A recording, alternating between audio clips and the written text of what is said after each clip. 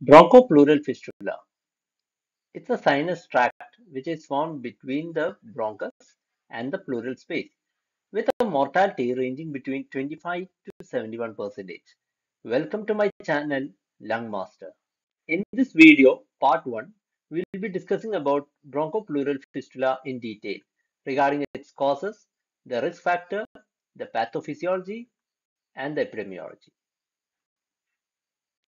Coming to the causes of bronchopleural fistula, post-lung resection surgeries, pulmonary infection causing necrosis, the persistent spontaneous pneumothorax, following chemotherapy or radiotherapy for malignancy, and also infections like tuberculosis.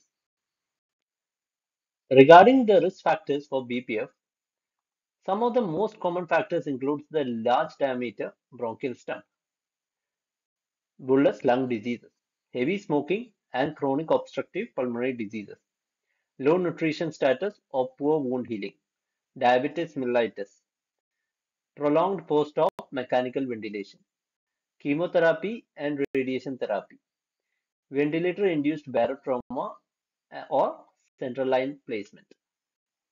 Coming to epidemiology, BPF or bronchopleural fistula it's most commonly encountered after lung resection surgery, especially pneumonectomy, lobectomy, and segmentectomy, with a frequency of more of uh, 4.5 to 20 percentage after pneumonectomy and only 0.5 to 1 percentage after lobectomy. Now coming to pathophysiology, post-operative BPF, it may be classified as acute, subacute, and chronic. The acute form is caused by the surgical dehiscence, which can be life-threatening due to tension pneumothorax or asphyxiation. So in acute conditions, how do these patients present?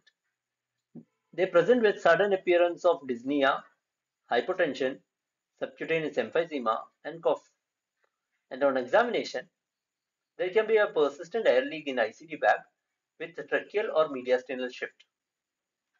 And on X-ray, there can be a reduction or disappearance of pleural effusion, which is sudden in onset.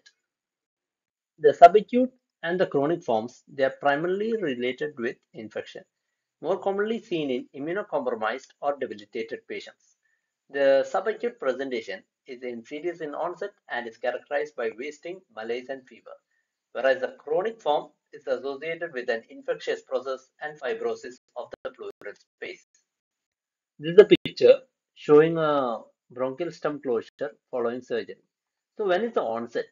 It often occurs within 8 to 12 days after surgery. Within the first four post-op days, the mechanical failure or bronchial stump closure is the most common cause, which uh, requires re-exploration. So that's all for today. In the coming video, we'll be discussing regarding when to diagnose suspect BPF, how do you manage it, and how do you treat. So stay tuned. Thank you.